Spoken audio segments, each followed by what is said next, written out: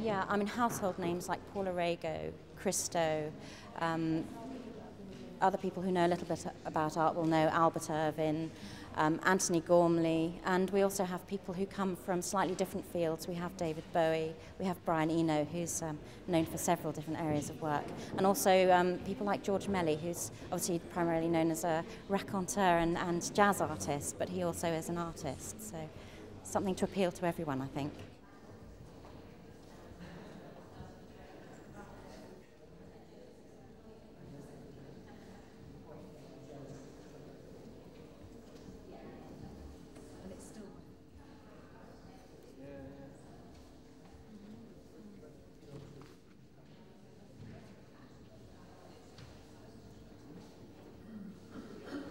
The interesting thing actually is that sometimes you, you wouldn't realise that they were from the artist that they're from.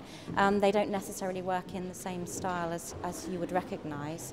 Um, and I think maybe in some ways they could treat it as a, a sort of opportunity to be a little bit more casual. It's not a huge sort of, it's not their gallery show. And, um, and they do it with a generous spirit and uh, take part wholeheartedly.